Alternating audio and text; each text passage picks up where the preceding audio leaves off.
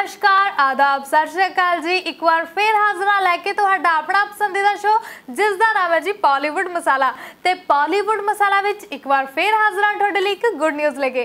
ਤੇ good news ਹੈਗੀ ਆ ਜੀ ਸਾਡੇ ਐਮੀ ਵਿਰਕ ਦੇ ਨਾਲ ਜੁੜੀ ਹੀ ਤੁਹਾਨੂੰ ਪਤਾ ਹੀ ਹੈ ਕਿ ਐਮੀ ਵਿਰਕ ਦੇ ਗੀਤ ਬੈਕਗ੍ਰਾਉਂਡ ਦਾ ਹਾਲਾਂ ਦੇ ਵਿੱਚ ਹੀ ਪੋਸਟਰ ਰਿਲੀਜ਼ ਹੋਇਆ ਸੀ। ਤੇ ਹੁਣ ਤੁਹਾਨੂੰ ਦੱਸ ਦਵਾਂ ਕਿ ਗੀਤ ਰਿਲੀਜ਼ ਹੋ ਚੁੱਕਿਆ ਹੈ ਤੇ ਬਹੁਤ ਹੀ ਪਿਆਰਾ ਗੀਤ ਹੈ। ਪਹਿਲਾਂ ਤਾਂ ਗੀਤ ਸੁਣੋ। ਓਏ ਅਸੀਂ ਜਿੰਨਾਂ ਨਾਲ ਬੈਠਦੇ ਆਂ। ਬੱਲਿਆ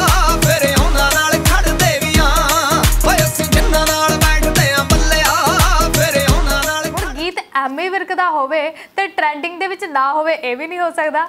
ਜੀ ਹਾਂ, ਦਰਸ਼ਕੋ, ਬਿਲਕੁਲ ਐਮੀ ਵਿਰਕ ਦਾ ਇਹ ਗੀਤ ਚੱਲ ਰਿਹਾ ਜੀ ਪੂਰਾ ਟ੍ਰੈਂਡਿੰਗ ਤੇ। ਬਹੁਤ ਹੀ ਪਿਆਰਾ ਗੀਤ ਹੈ ਤੇ ਬਾਕੀ ਗੀਤ ਰਿਲੀਜ਼ ਹੋ ਚੁੱਕਿਆ। ਗੀਤ ਦੇ ਨਾਲ ਜੁੜੀਆਂ ਹੋਈਆਂ ਡਿਟੇਲਸ ਮੈਂ ਤੁਹਾਨੂੰ ਜ਼ਰੂਰ ਦੇ ਦਿੰਨੀ ਆ ਗੀਤ ਲਿਖਿਆ ਹੈ ਜੀ ਬੱਬੂ ਨੇ।